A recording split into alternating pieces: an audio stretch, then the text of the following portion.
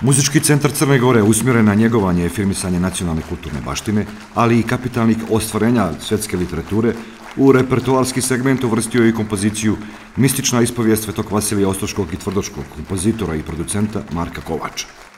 Inventivna sifonijska poema posvećena svetitelju i rustičnoj prirodi Crne Gore i Hercegovine u fino iznjansinanoj orkestraciji premjerno izvedena u Nikšiću. Sam dirigent Mark Korović rekao da je to u samom nekom smislu kvaliteta kompozicije jedno izuzetno dijelo, da je jako dobro urađena orkestracija. Čak sam i ovako neformalno razgovarala i sa e, ljudima iz orkestra.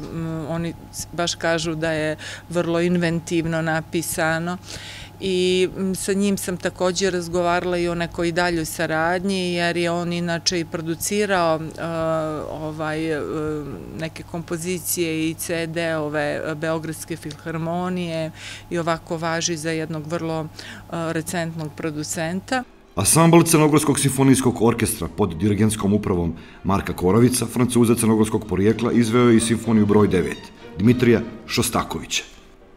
Orkestar je zaživio u godini kada je Crna Gora postala nezavisna u okviru institucije posebnog značaja Muzičkog centra Crne Gore.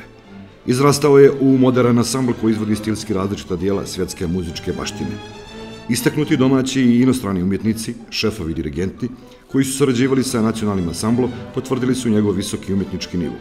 Nove ciljeve, kontinuirano muziciranje i raznovrsni repertoar najavljuju i direktorica Isidora Damjanović. Mi smo krajem prošle sezone imali audiciju i na toj audiciji uspjeli smo da e, dobijemo koncert majstora koja će startovati ovaj, uskoro, ja mislim, od e, nove godine. Popunili smo pozicije vođa, nedostaje nam par e, tuti svirača i mislim da idemo ka tome da kroz audicije popunimo popunjavamo orkestar. E, svi dirigenti, bar evo otkad sam ja tu godinu dana, e, su hvalili naš orkestar, da je mlad, da je perspektivan. Ja ću da kažem da tu ima i dosta pedagoga, da među njima e, je značajan broj onih koji sviraju u inostranstvu, odlaze na festivale, gostuju u drugim kućama i tako dalje. Tako da sve u svemu zaista je riječ o orkestru orkestru koji može da ima veoma, veoma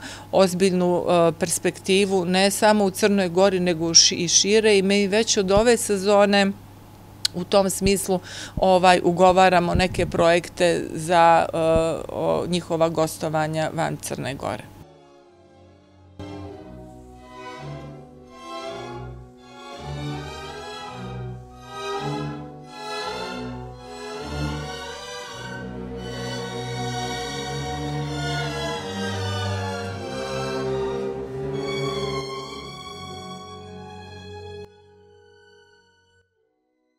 Da li Crnogorski simfonijski orkestar svojim programima nastoji da slijedi svjetske trendove? I šta se to sluša u svijetu?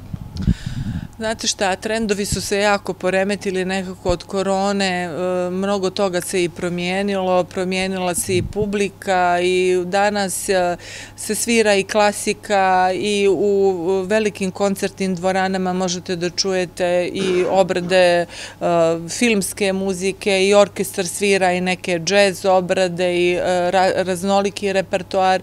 Drugo, mi živimo i u vremenu citatnosti, fragmentarnosti, postmodernizma, e, savremena kompozicija e, nema limite, e, radi se elektronska muzika, rade se eksperimenti sa glasom. Mi smo baš ove godine u predsezoni imali konceptualno, znači osmišljen koncert sa dirigentom Premilom Petrovićem i mogu da vam kažem da smo tu imali i pokret, i tekst, i rad sa tekstom, i verbalno, i napismeno je bila neka tabla i tako, tako da zapravo danas imamo koncerte koji imaju i taj neki teatarski element u sebi, jer prosto sve se kreće, pa tako i klasična muzika počinje da sve više e, se oslanja i na savremene tehnologije. Crnogorski simfonijski orkestar u okviru mini turneje Jesenje putovanje nastupit će u Pjevljima i Cetinju. Muzički centar Crne Gore turneju realizuju uz podršku Ministarstva kulture.